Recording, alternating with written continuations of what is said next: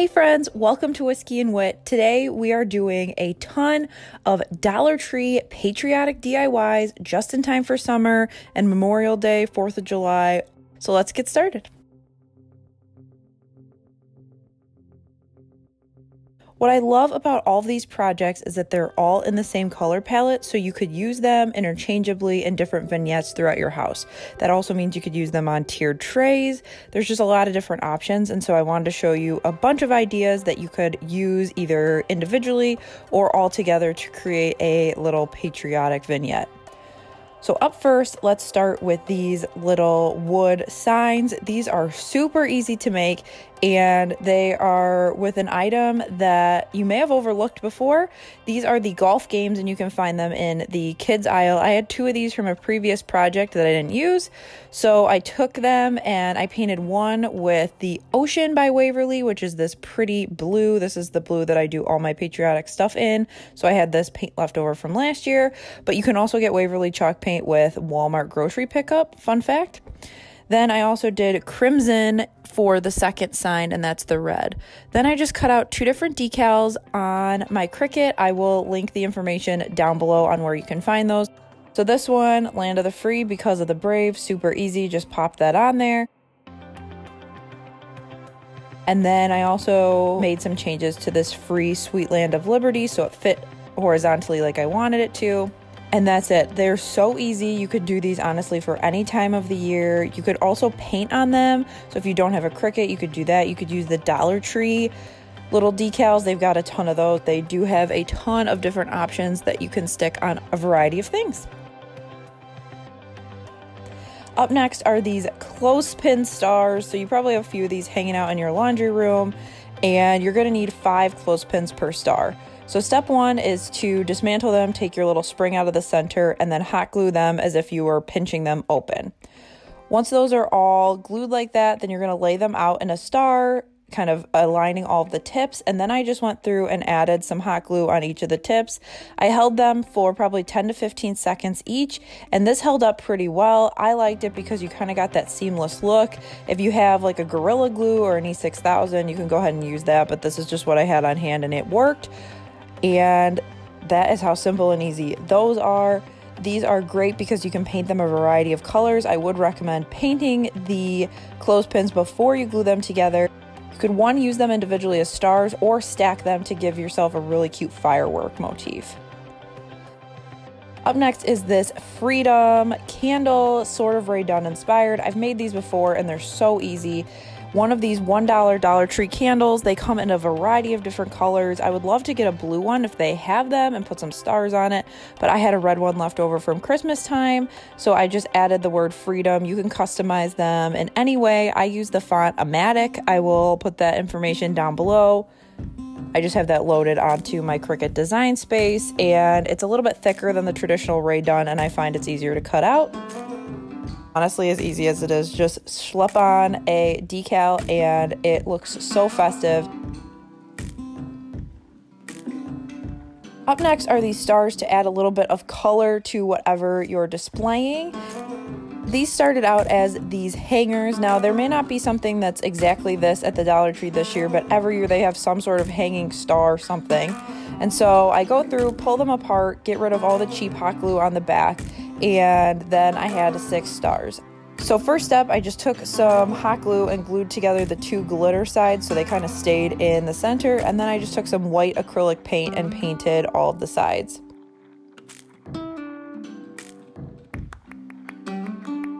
For the striped one, I just went through with some painter's tape. You could use washi tape, whatever you have, and I painted off the horizontal stripes for my red and white. And then for my other one, I painted it blue with that same Waverly blue chalk paint. But then I just went ahead and added some of these embellishments that I had on hand from Michaels. I was going to try to use them as a stamp. And in my brain, it started out as a great idea. And then when I started doing it, it did not work out. So I ended up just sticking these on there and I was going to go for the natural look, but then I decided I wanted them white instead. So I went through and painted them.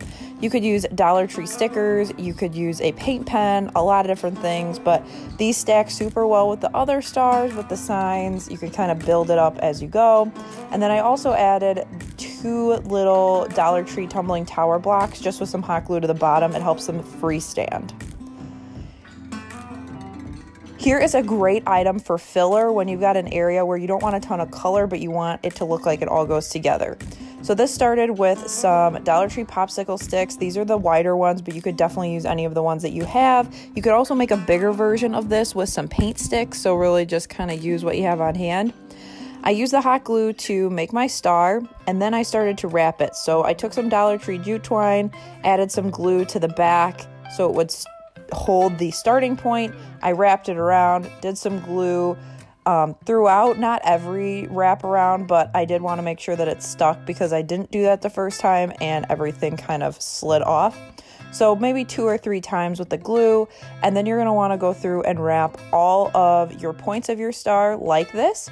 So then that way everything's covered and then your middle is just going to be open.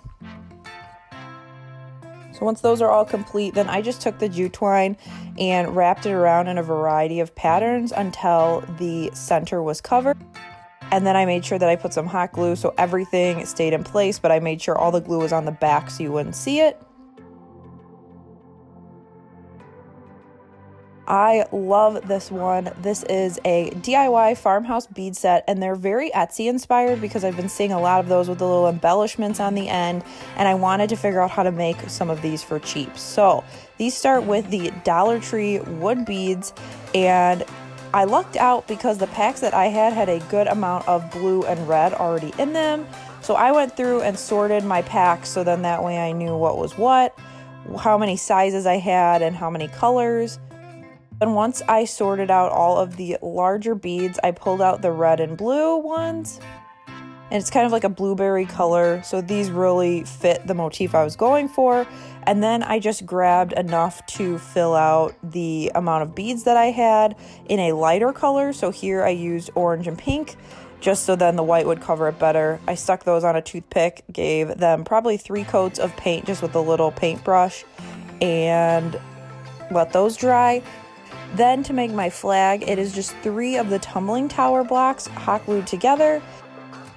Went through with some white acrylic paint because I am out of Waverly chalk paint and it is so sad, but I am making it work. So went through and painted the middle block white, and when I made my second one, I painted these before I glued them together. So this was slightly a rookie mistake, but I ended up making it work. Then I grabbed that crimson again and went through and painted the top and bottom brick. So then that way I had all of my stripes.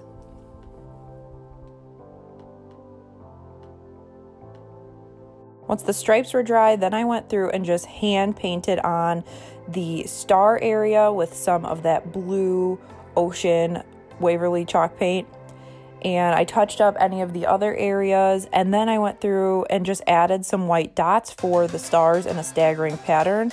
I was not trying to get legit and like make small stars like that. I am not that artsy. If you are, definitely go ahead and do that.